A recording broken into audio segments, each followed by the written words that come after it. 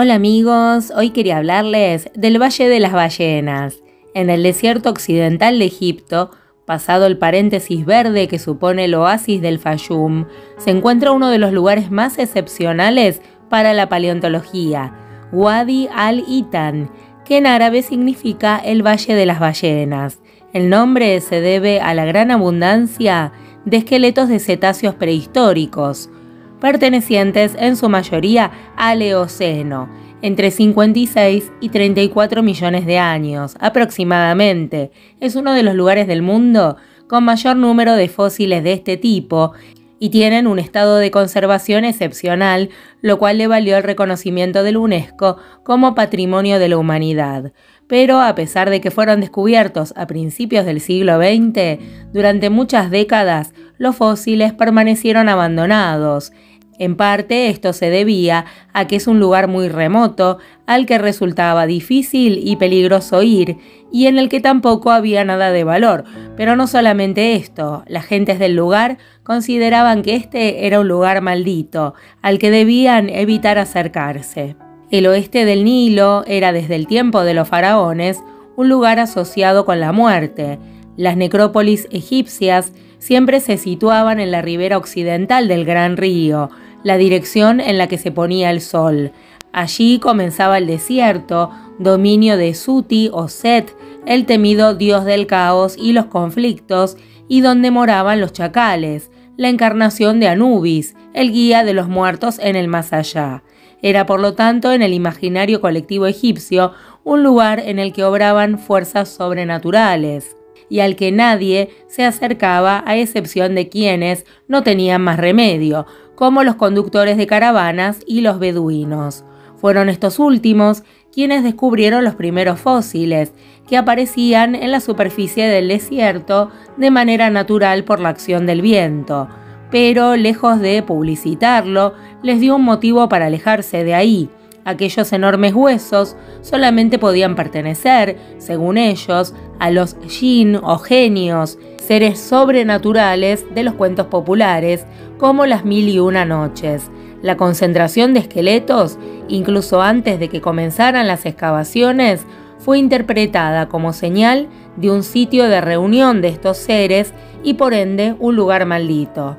Además, la cuenca se encuentra a los pies de una montaña con un nombre que habla por sí solo, Garet Gohanam, la montaña del infierno, debido al color rojo del que se tiñe con la luz del amanecer. En la década de 1980, el lugar comenzó a despertar el interés de los paleontólogos que habían oído hablar de él. Lo que encontraron fue todo cuanto un investigador de su campo puede soñar muchos fósiles, un entorno que había permanecido inalterado por el ser humano y un terreno óptimo para la conservación de los huesos y muy fácil de excavar.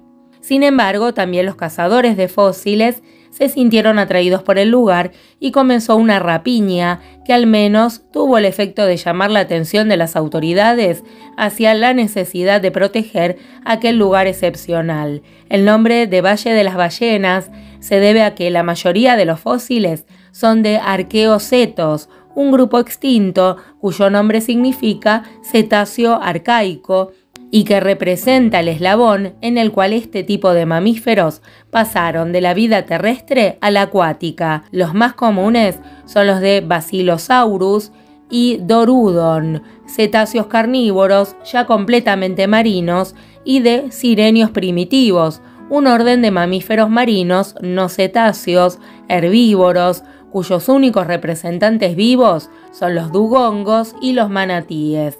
También se han encontrado fósiles de otras épocas geológicas pertenecientes a mamíferos terrestres y marinos, tortugas marinas, peces y reptiles. Aprovechando la categoría de Patrimonio de la Humanidad que ostenta desde el año 2005, Wadi al-Itan se convirtió en un modesto destino del ecoturismo con unos pocos miles de visitantes al año, según las cifras del gobierno de Egipto. Algunos de los fósiles fueron dejados a la intemperie como parte de un museo al aire libre, con un recorrido que discurre por una pequeña parte del lugar, que en total suma unos 200 kilómetros cuadrados.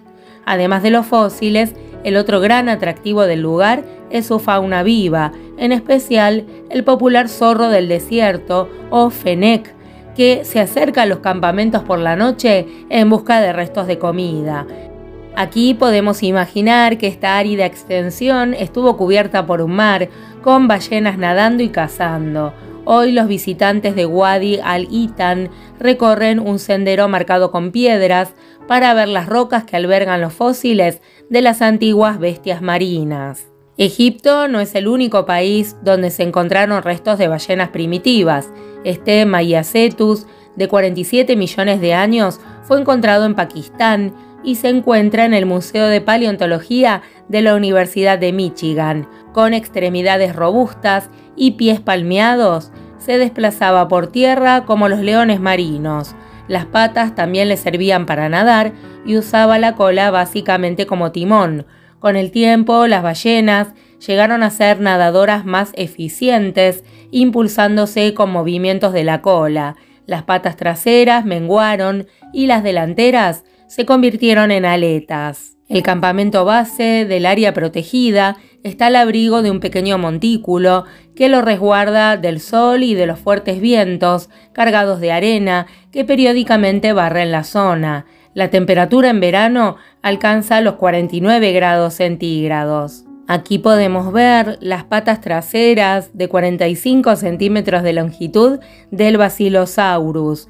Estas eran demasiado pequeñas para soportar el peso de una ballena de 16 metros de largo. En realidad el animal no abandonaba el medio acuático, pero la conservación de las patas es una evidencia espectacular de que las ballenas primitivas caminaron y hasta corrieron por tierra firme. Hace 37 millones de años, en las aguas del antiguo mar de Tetis, estas bestias de 16 metros de largo, con mandíbulas enormes y dientes afilados, morían y se hundían en el fondo del mar. Con el transcurso de los milenios, un manto de sedimentos se acumuló sobre sus huesos. Por fin el mar retrocedió y cuando el antiguo lecho marino se transformó en desierto, el viento comenzó a desgastar la arenisca y la arcilla depositadas sobre los huesos, poco a poco el mundo estaba cambiando. Los movimientos de la corteza terrestre empujaron a la India contra Asia y se formó el Himalaya. En África, nuestros antepasados remotos adoptaron una postura erguida y comenzaron a caminar sobre dos piernas. Los faraones construyeron las pirámides, Roma ascendió y cayó, y durante todo este tiempo el viento continuó excavando. Entonces un día llegaron los paleontólogos para terminar el trabajo. Las ballenas figuran entre los pocos mamíferos que dieron una vuelta evolutiva de 180 grados, volviendo a adaptar su cuerpo terrestre para sentir, comer, moverse y aparearse debajo del agua. Las primeras ballenas aparecieron hace unos 55 millones de años como los demás órdenes de mamíferos modernos. Durante un periodo de calor, al comienzo del Eoceno. Vivieron en la costa oriental del mar de Tetis, cuyas aguas cálidas, saladas, ricas en vida marina y sin dinosaurios, ya que se habían extinguido 10 millones de años antes, ejercieron sobre ellas una fuerte influencia evolutiva, buscando nuevas fuentes de alimento en aguas cada vez más profundas. Aquellas habitantes de la costa desarrollaron hocicos cada vez más alargados, dientes más afilados, rasgos bien adecuados para atrapar peces. Hace unos 50 millones de años alcanzaron la fase representada por Paquicetus, buenas nadadoras de cuatro patas que todavía podían caminar en tierra firme. Al entrar en el agua, las primeras ballenas alcanzaron un medio inaccesible para la mayoría de los mamíferos, con refugios y comida en abundancia y pocos competidores y depredadores, condiciones perfectas para una explosión evolutiva. En ese momento hay un estallido de experimentos, la mayoría de los cuales acabó en extinción mucho antes de los tiempos modernos. Por ejemplo, Ambulocetus, un cazador de 700 kilos de peso, con patas cortas y enormes fauces alargadas, o Dalanistes, de cuello largo y cabeza de garza, o Macaracetus, con una trompa corta que tal vez usaba para comer moluscos. Bueno amigos, espero que les haya gustado el tema que les traje hoy y si les gustó, los espero otro día. Un abrazo muy grande para todos ustedes.